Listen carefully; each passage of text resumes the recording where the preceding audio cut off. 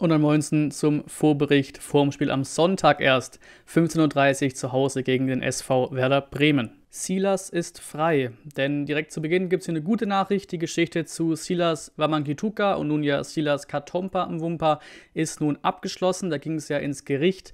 Angeklagt war Silas wegen Urkundenfälschung, Erschleichen eines Visums, Erschleichens eines Aufenthaltstitels und mittelbarer Falschbeurkundung.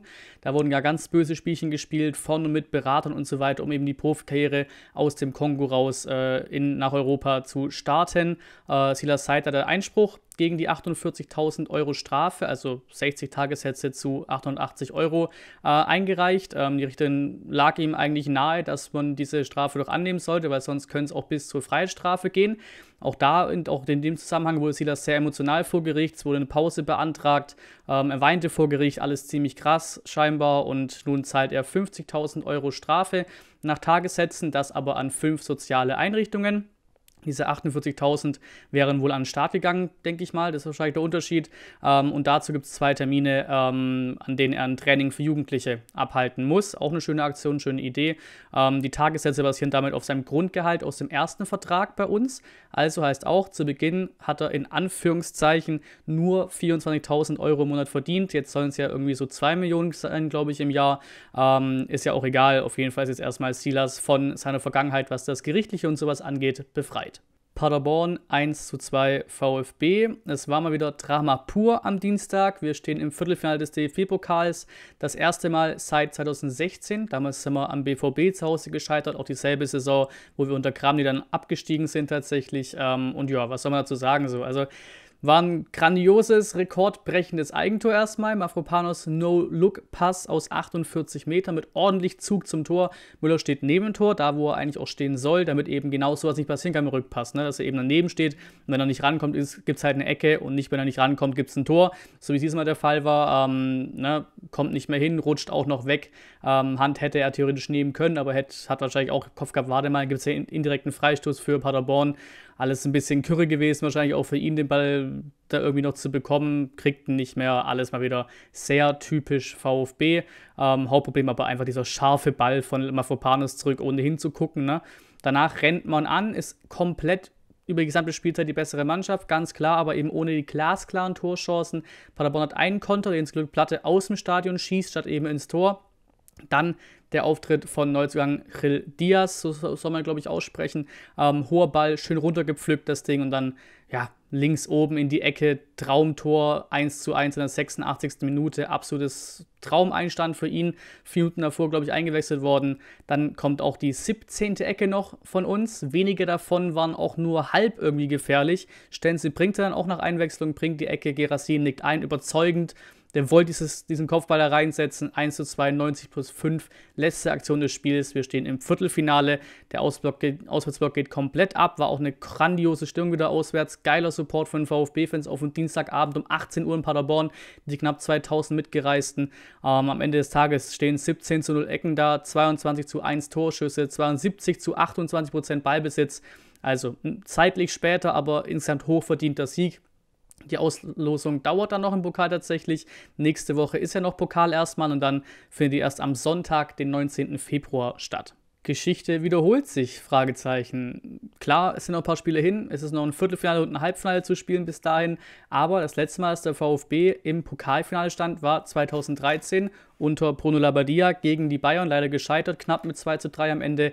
Aber mit ein bisschen Losglück hat man bisher gehabt, muss man ja sagen, um Papier. Erstmal ein Drittligist, auswärts. Klar, auch da Dresden nicht einfach, aber Drittligist, danach ein Heimspiel gegen Zweitligisten, bei dem es nicht lief, jetzt auch wieder ein Zweitligisten, wenn auch auswärts. Ähm, aber jetzt mal sehen, was bei der Auslosung passiert. Nochmal Zweitligist wäre natürlich stark, so viele sind ja nicht mehr da, aber irgendeiner wird schon noch weiterkommen aus der nächsten Runde. Es sind ja noch ein paar Spiele zu spielen, wie gesagt, nächste Woche. Da wird noch ein Zweitligist weiterkommen, auf jeden Fall in direkten Duellen. Vielleicht kriegt man ja den, das wäre natürlich stark. Gibt auch kein Heimrecht mehr für die, also, ne, nicht, also kein, kein gottgegebenes Heimrecht mehr quasi, weil kein, kein Amateurverein mehr dabei ist. Deswegen auch da natürlich Nummer eins, auch wenn es ein Bundesligist wird als Gegner, was ja nicht unwahrscheinlich ist, dann gern, gern ein Heimspiel. Wäre es geil natürlich, ein Heimspiel wäre geil. Oder für mich gerne auswärts auch Nürnberg, das ist ja in der Nähe von Ansbach, das wäre auch gut machbar. Mal gucken, was da kommt. Ablöse wieder drin. Hier geht es natürlich um die beiden Neuzugänge Haraguchi und Diaz. Beide wurden eingewechselt und haben sich auch wirklich recht reibungslos ins Team eingebracht. Äh, Haraguchi dann noch mit ein bisschen mehr Spielzeit als äh, Diaz, aber dann natürlich mit ein bisschen mehr Output. Ne? Traumtor zum 1 zu 1, die Ecke rausgeholt zum 1 zu 2 und beide sollen ja etwa eine Million gekostet haben. Genaue Zahlen gibt es da nicht so wirklich, aber vor allem eben Diaz mit dem Tor könnte ja quasi schon beide Ablösesummen wieder reingeholt haben, denn für den Einzug ins Viertelfinale des DFB-Pokals gibt es 1,67 Millionen Euro. Heißt je nachdem, was da etwa eine Million heißt, haben sich beide quasi schon wieder 1 zu 1 bezahlt gemacht mit einem Pokalspiel. Girassi. Denn einer, der sich auch bezahlt gemacht hat und es auch hoffentlich noch weiterhin tut in unserem Trikot, ist Seru Girassi. In Paderborn ist 2 zu 1 gemacht. Er ist die neue VfB-Lebensversicherung, ist einfach so. Zwölf Ligaspiele, sechs Tore, zwei Pokalspiele, zwei Tore, sind Top-Werte vom 26-Jährigen. Und ich gehe mittlerweile so weit, dass er besser ist als Sascha Kalajdzic. Das ist nicht nur ein Ersatz, es ist ein Upgrade zu Kalajdzic. VfB International auf Twitter hat auch schon gepostet, dreimal mit dem rechten Fuß, zweimal mit dem linken Fuß, zweimal Kopf, einmal Elfmeter. Der Mann kann alles. Da ist ein kompletter Stürmer vorne drin, was das angeht. Ähm, aktuell Marktwert von 10 Millionen. Ähm, wir haben im Sommer eine Kaufoption, die ja wohl bei 9 Millionen Euro liegt. Und diese, natürlich vorausgesetzt, man, man hält die Klasse, bleibt in der ersten Liga, muss man ziehen. Fertig aus, ist gar keine Diskussion mehr, die musst du ziehen. Auch in Anbetracht eben, dass man jetzt mit Armada gut Geld eingenommen hat, im Sommer vermutlich Sosa oder Mafropanos, vielleicht sogar beide gehen. Klar, die muss auch nochmal ersetzen dann, aber ja, da kommt auch ein bisschen Geld. Man muss alles daran setzen, Girassi im Sommer kaufen zu können. Ahamada, Kommen wir schnell noch zum eben angesprochenen auch Ahamada. Wechsel ist durch. Am Deadline Day noch vor der 0 Uhr Deadline für die Premier League und eben auch für England dann. Wurde ja auch schon lange berichtet, ähm, dass er geht. Und wir bekommen wohl etwa 12 Millionen, wurde auch schon berichtet. Labadia und auch der VfB generell wollten natürlich nicht abgeben, so, aber wie auch Wohlgemut im Statement sagt, können wir uns eben einfach finanziellen Argumenten nicht verschließen. So ist es halt einfach. Bin sehr gespannt, wie er sich mit den 20 Jahren da bei Crystal Palace schlägt in der englischen Liga. Trifft er ja auch bei, auf den Trainer, auf eine absolute französische Mittelfeldlegende, auch gerade eben in der Premier League bei Arsenal mit Patrick Vieira. Ähm, hat auch auf Instagram nochmal schöne Worte gefunden, auch an die VfB-Fans. Sosa, bei ihm wurde es zum Glück nichts mehr mit dem Abgang im Winter. Da war irgendwie scheinbar auch ein Leverkusen nochmal dran gewesen am Ende. Die wollten aber auch nur 10 Millionen zahlen. Kicker äh, berichtet, dass wir wohl 15 bis 20 Millionen wollen. Und dann gab es noch ein weiteres Gerücht. Laut der Bild soll auch Frankfurt Interesse gezeigt haben.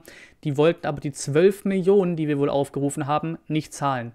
Und da ist dann der Punkt, an dem man auf einen Kicker hofft und auf dem man, bei, bei dem man stutzig wird. Denn wenn die allen Ernstes, sollte da irgendwie ein bisschen Funke Wahrheit dran sein, dass sie wirklich 12 Millionen nur wollten im Winter, mitten in der Saison für Borna Sosa, dann können die halt echt nicht mehr Latten am Zaun haben. Dann müssen die ja so dermaßen die Geldprobleme haben.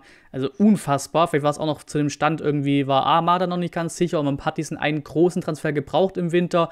Aber selbst dann, wenn Sosa, erstens, natürlich, er ist geblieben, also ist nichts passiert so. Ähm, zweitens, glaube ich, so oder so eher dem Kicker. Ähm, und drittens, das nochmal 12 Millionen, viel zu wenig, auch im Sommer dann. Er hat immer noch Vertrag bis 2025.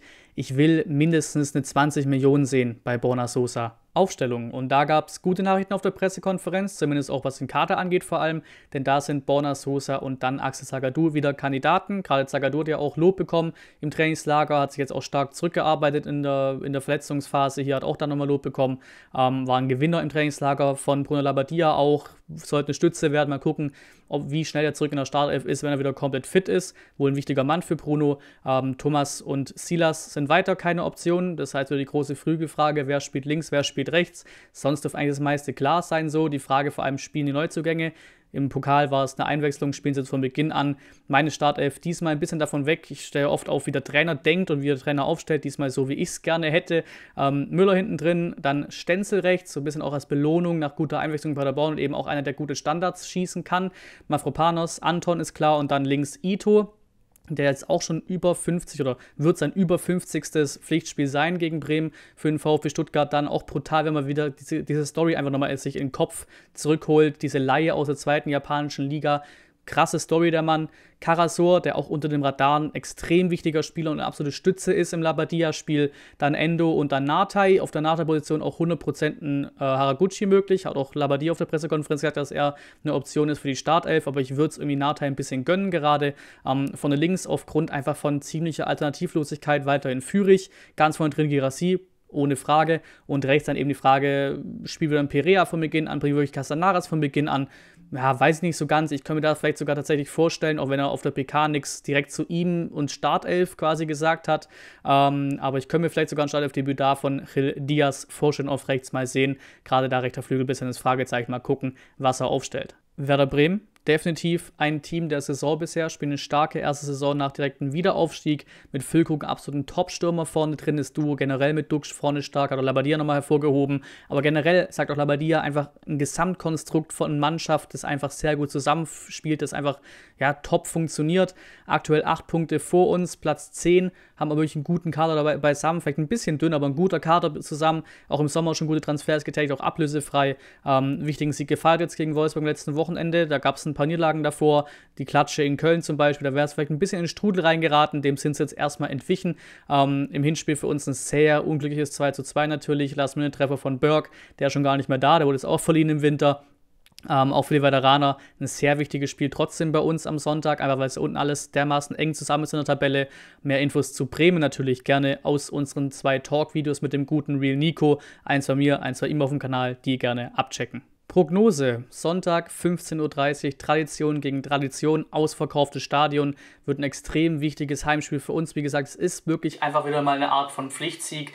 Wenn man eben auch gerade den Blick auf die Tabelle nimmt, dann ja, gegen Mainz war ein Punkt okay den Hoffenheim hast du zwei verloren am Ende des Tages mit dem Last-Minute-Gegentreffer in Leipzig. Also von mir ist auch sogar einen verloren, da war ein Punkt drin. In Paderborn ist nochmal verdient gewonnen. Ähm, Last-Minute-Push, den wir hoffentlich auch mitnehmen können ins neue Spiel. Eben dieser erste Sieg, das erste gute Gefühl. Ähm, auch Mentalität eben gezeigt in Paderborn und nochmal das Ding gedreht.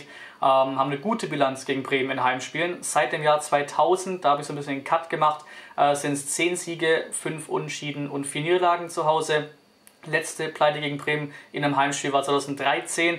Ähm, wie gesagt, das Spiel ist ausverkauft, wird eine geile Atmosphäre am Sonntagmittag. Wie den Talks mit Nico auch angesprochen, dieses 4-3-3 von uns gegen das 3-5-2 von Bremen könnte sehr interessant werden. Gerade zu diese Top-Stürmer, natürlich hier Füllkrug, bei uns Gerassi, das könnte für viele Tore sorgen. So könnte wieder ein hartes Stück Arbeit werden, wie gegen Augsburg. Ähnliche Prognose wie da. Eigentlich hoffen wir auf einen Sieg, aber vielleicht beißt da ein bisschen auch die Zähne aus, wäre gegen Augsburg auch fast passiert, trotzdem Chancen, Wucher wieder ähm, fast passiert, dass du nur auf ein 1 zu 1 rausläufst, wird auf jeden Fall wieder ein enges Spiel, vielleicht kannst du ja auch da wieder nur ja, die Zähne ausbeißen an Bremen und hängst an einem Punkt fest, wieder ein 2-2 oder sowas, aber wir brauchen den Heimsieg. 3-2 Sieg, mein Tipp, ihr könnt wieder mal abstimmen im Community-Tab.